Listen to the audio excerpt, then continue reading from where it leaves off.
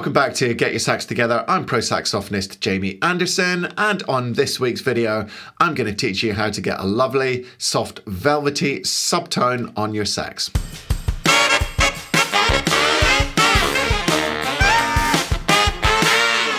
First of all, what do we mean when we say subtone?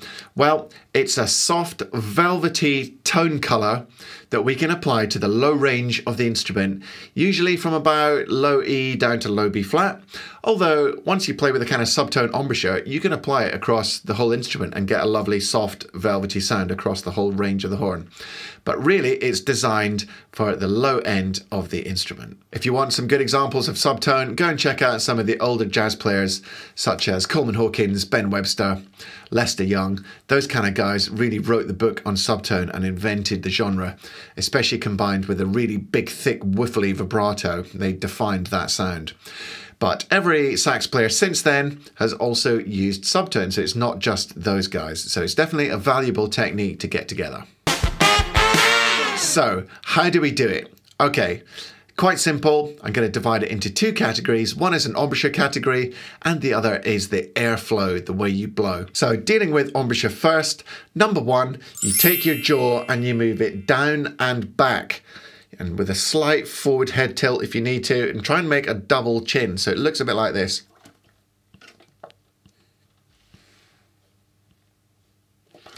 Now it looks a bit stupid, but that is what your jaw has to do.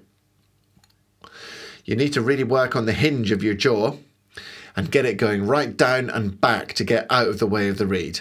Number two, your teeth and lips. Your top teeth need to be right on the edge of the mouthpiece, almost off the edge of the top of the mouthpiece. And your bottom lip has to have no pressure whatsoever on the reed. And because you've moved your jaw back, your bottom lip will also be quite far back towards the end of the reed. So it looks a bit like this. So you can see my teeth are almost off the end of the mouthpiece when I do my subtone. The third point concerning embouchure is to make sure you have a nice circular shape with your mouth and you're supporting the sound with these muscles at the side. You're pushing them in. That makes your top and bottom lip nice and soft and baggy, and that's what we want. So imagine you're saying the word ho, and that's the shape of your mouth.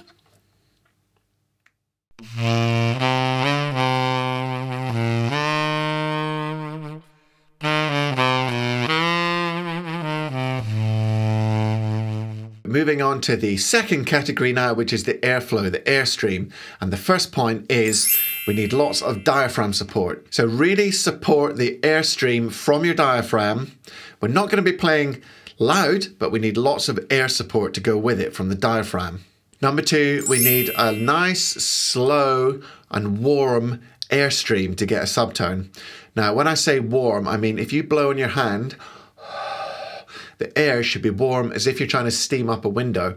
That's why you need that nice circular shape and you need to open up your throat uh, with a yawning type shape to get that nice warm air. And it's going to be a nice, slow, warm airstream to get the subtone. The third point regarding the airstream is we want to blow down into the reed, not up into the top of the mouthpiece. If we're trying to practice altissimo notes, we want a cold, fast airstream going right up to the top of the mouthpiece. This is the opposite. We need a slow, warm airstream, which you're going to direct down. Now, I know the air just goes into the mouthpiece and goes straight through. So this is more just like a mental tool that you can use. So try and blow down with a slow, warm airstream and lots of diaphragm support. An exercise that you want to practice to get your subtone together is to play a note down the bottom, C, B, B flat, with a full tone, and then switch from full tone to subtone. So you're going ba, wow, and you should see your jaw moving back and forward as you get that subtone.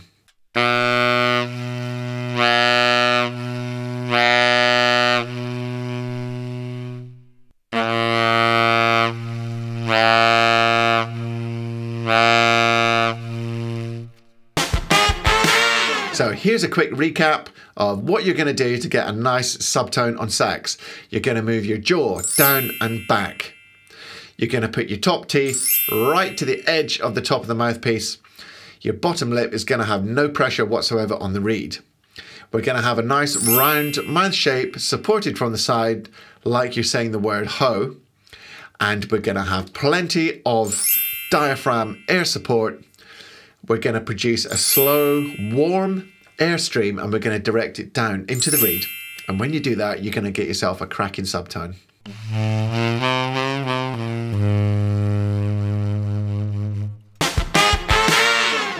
That's all we've got time for this week.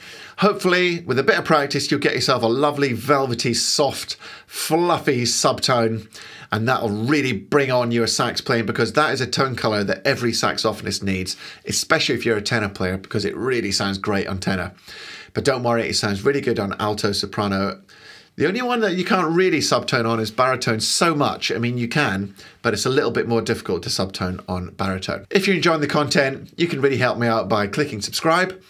Click the bell icon to be notified when I upload new stuff, which is every Sunday at 7 a.m. UK time. That's London GMT Greenwich Mean Time. Also, you can go to my Instagram and leave me a comment down there below. I'll answer every comment that I get. So far, I've answered every comment that I've seen on my YouTube channel. Once I get 20 million subscribers, maybe not, but that's a bit of a way off, let's be honest. So you can give something back to me. That'll really help me out. And also, if you go down into the description, get your free PDF, which looks like that. How to play subtone on sax. Boom that's what you need. it's a really simple process. Go down and get your PDF, and I'll look forward to bringing you more fantastic, saxtastic com.